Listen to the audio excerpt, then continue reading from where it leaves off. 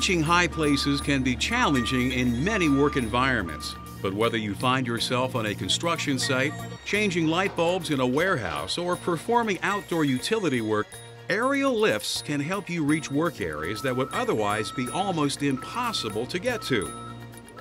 OSHA describes an aerial lift as a vehicle-mounted, boom-supported work platform used to elevate personnel to job sites that are above the ground. They are mobile and can usually be set up and operated by a single person. This program will introduce you to various types of aerial lifts, make you aware of the hazards that are associated with them, and give you the information that you'll need to work safely, whether you're using a lift or working around one.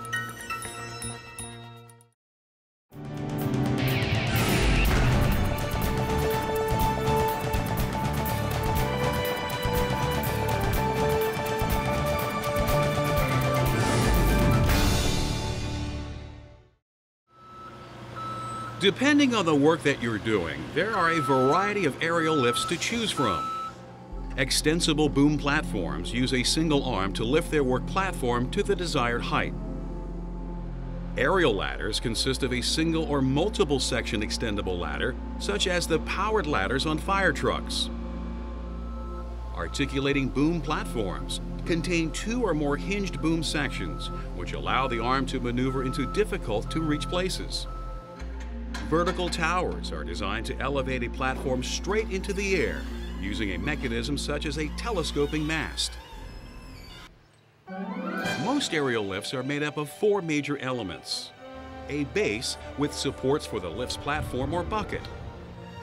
A lifting mechanism. The platform or bucket itself.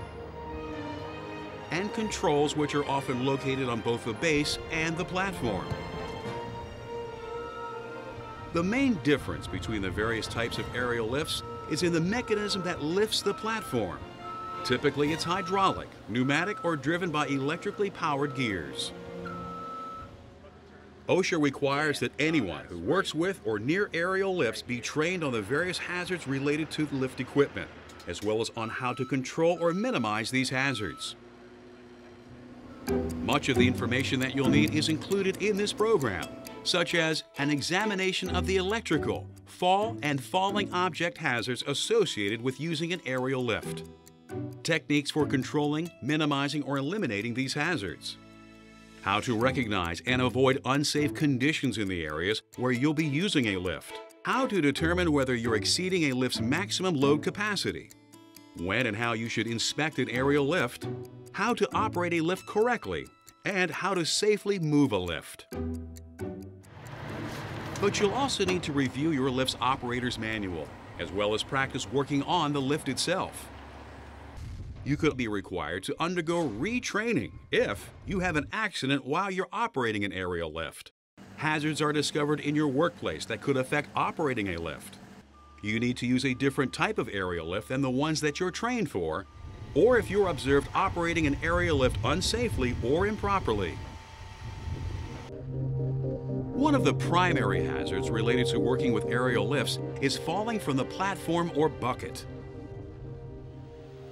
If you work on a lift, you must use appropriate fall protection. Always inspect your equipment before using it. Make sure that there are no cuts, frayed edges, or other damage. If the equipment is damaged, it must be removed from service and replaced.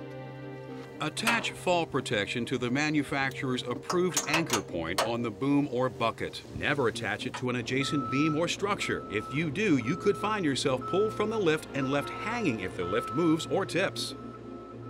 Another serious hazard you want to avoid is tipping. This can occur if a lift is overloaded or it isn't properly stabilized. To minimize the possibility of a tip over, you should never exceed the load limit of the lift you're working with. Be sure to take into account your own weight, plus the weight of any tools or other equipment that you'll have with you. Proper placement of the lift will also help in avoiding a tip over. If your lift is equipped with outriggers, use them. Make sure that they're set up on stable ground. Falling objects can be a hazard when you're using an aerial lift as well. Even if you're careful, tools or materials can sometimes leave the platform and head earthward. Protect people who are working around the lift by marking off the area with safety cones or tape.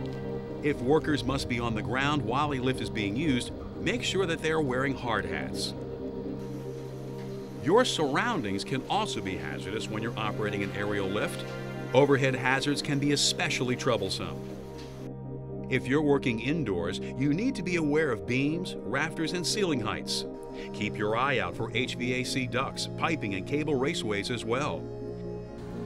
If you're outdoors, you want to pay attention to trees and light poles. Stay a minimum of 10 feet away from any of these hazards.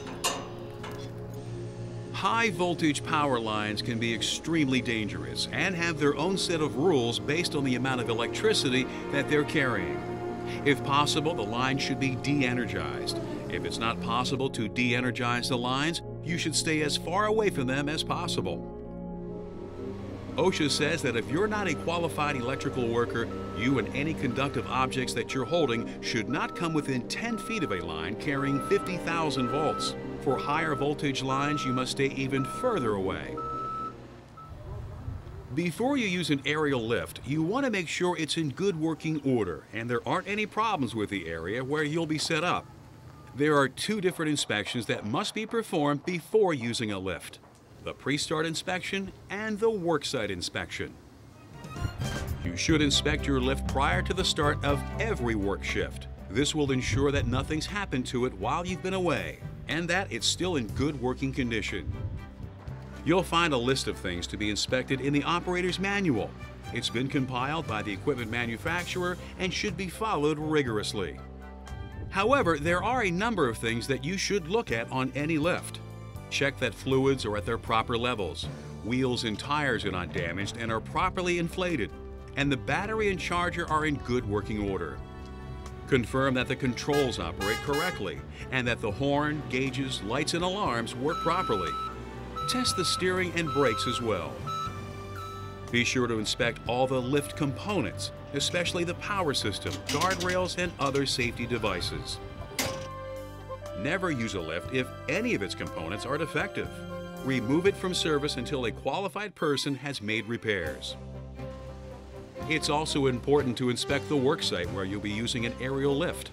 Survey the work zone and eliminate any hazards before operating the lift. If you're working outside, look for drop-offs, holes or other potentially unstable surfaces, slopes, ditches or bumps, overhead power lines, high wind, rain, and other hazardous weather conditions. If you're working inside, look for low beams, rafters, or ceilings. Driving obstructions such as other equipment or storage racks. Materials or debris on the floor. Doing these pre-inspections on your equipment and your work area are essential and will help you to avoid dangerous situations.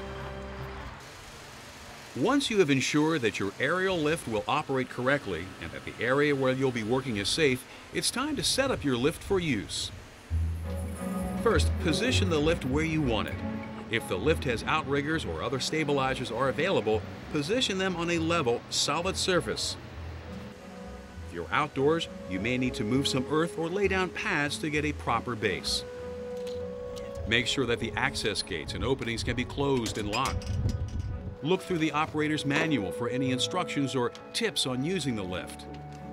Review the signs and notices that are posted on the lift itself, including any warnings, cautions, restrictions, related workload, and maximum platform height.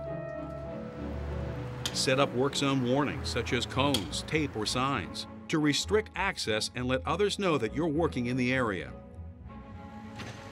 Examine your fall protection equipment prior to putting it on. Once you've determined that your lift is stable and everything is set up correctly, you're ready to go to work. Climb into the platform or bucket, then close and lock any gates or doors. Attach your fall protection to the manufacturer's approved anchor point on the lift. Never attach fall protection to adjacent structures. This could cause you to be pulled out of the lift if it tips or falls. Remember to stand firmly with both feet flat on the platform's floor. Don't lean on the guardrail or gate and never sit or climb on the rails. Test the controls to make sure the lift operates smoothly and will maneuver correctly. Some aerial lifts may have safety features built in, such as a dead man switch that halts the machine if the operator is injured or incapacitated. Make sure these are functioning as well. Slowly raise yourself to the desired height and location. It's important that you never try to use ladders, planks, stools, or other devices to extend your reach or to bridge gaps between the lift and the area where you want to work. Be sure not to exceed the vertical or horizontal limits recommended by the manufacturer. This information can be found in the operator's manual or on warning stickers affixed to the lift. Never override hydraulic, mechanical, electrical, or pneumatic safety devices. These are in place to keep the machine operating safely. If the lift can't take you to the work, you may need to move the lift. Consider using another type of lift or use a ladder or scaffold to reach your destination. But never move a lift while it's raised unless it's specifically designed for this purpose. There may be times when you need to get off a lift to get your work done. If you have to transfer from the lift to an adjacent structure, the platform must be within one foot of the structure.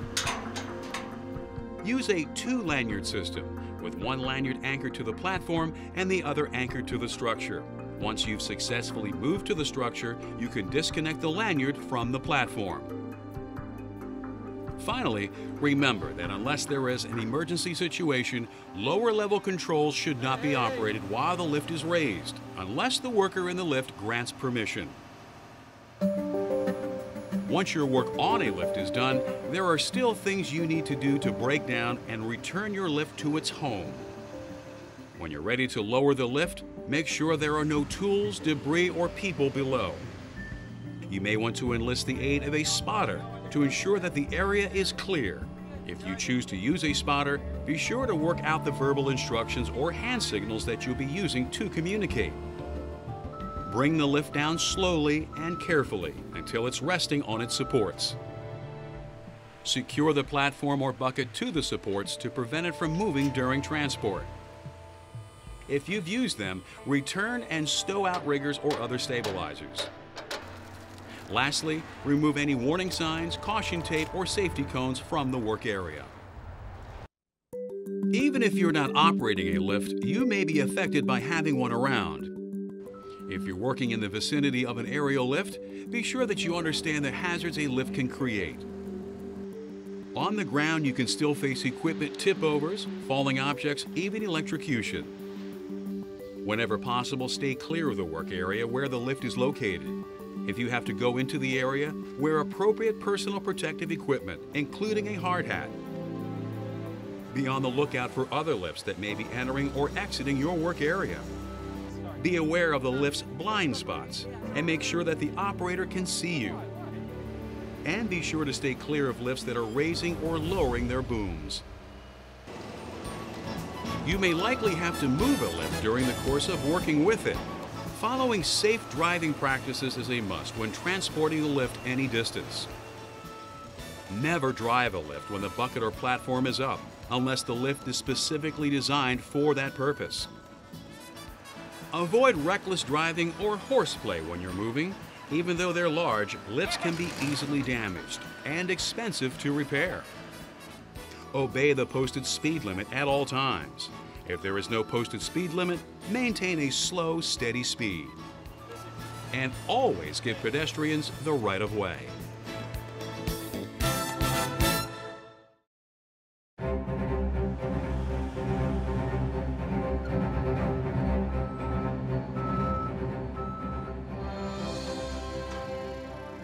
Lifts can help you reach places that you'd never be able to reach safely without them. But they can be dangerous if you don't know how to use or work around them properly. Let's review. Make sure you're trained to use all of the aerial lifts you'll be working with. Know the hazards associated with aerial lifts and how to avoid them. Inspect an aerial lift for damage or unsafe conditions before you use it. When you're working on the ground, be aware of the hazards aerial lifts can present.